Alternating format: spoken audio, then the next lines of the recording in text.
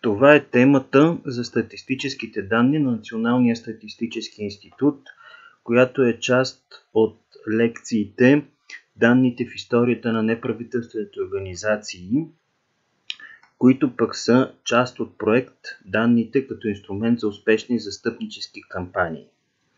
Националният статистически институт е основният доставчик на публични данни в интернет, данни, които се отнасят за България. Достъпа до публичните данни онлайн може да стане по 4 различни начина. Първия начин е като се използва секцията статистически данни на сайта на Националния статистически институт. Втория начин е като се използва информационната система Инфостат – Третия начин е като се използват електронните версии на публикациите на Националния статистически институт. И четвъртия начин е като се използва електронната библиотека на Националния статистически институт. В тази тема ще покажа как се работи с секцията статистически данни от сайта на Националния статистически институт. Нека да влезем в този сайт. След което, ето я тук, секцията статистически данни. Избираме и след това се избират а, основните области и теми. Областите са показани тук с а, по-удебелен шрифт, а темите са под всяка област. И, например, можем да видим в област демографска и социална статистика темата доходи, разходи, потребление на домакинствата. Избираме съответната тема, след което виждаме, че а, избора е на няколко нива, има подтеми, така че тук имаме подтема доход на домакинствата, подтема разход на домакинствата и така нататък и съответно под подтеми, да кажем, като пример да изберем общ доход от, тем, от доходите на домакинствата. И в крайна сметка може да се премине през няколко нива на подтеми, но в крайна сметка винаги се достига до конкретните индикатори. Ето, избираме 3-месечните данни, отново като пример. И вече виждаме две неща. Първо виждаме самите данни, които са последните най-актуални данни.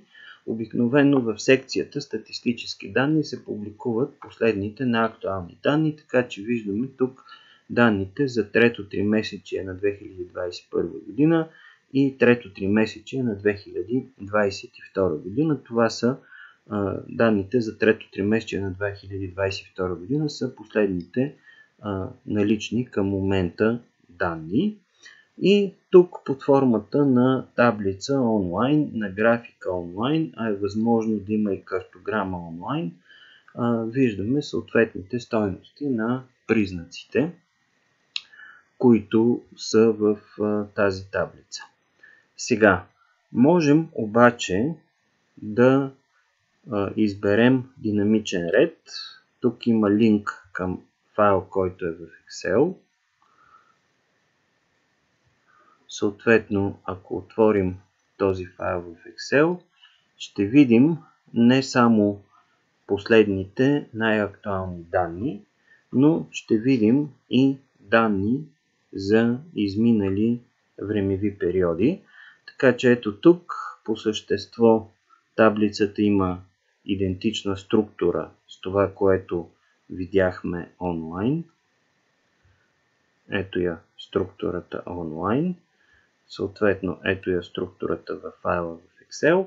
Но тук вече има данни от 2017 година до 2022, като за всички предходни години има данни за всички 4-3 месечи, а само за последната година данните са до трето три месече, тъй като към момента още липсват данни за четвъртото три месече на тази 2022 година.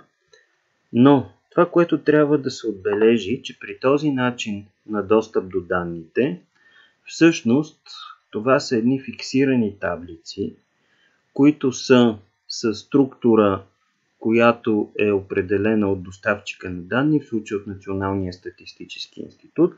И тази структура може да съвпадне с някои от трите желани от нас структури, а именно статични данни, динамични данни или панелни данни, но може и да не съвпада.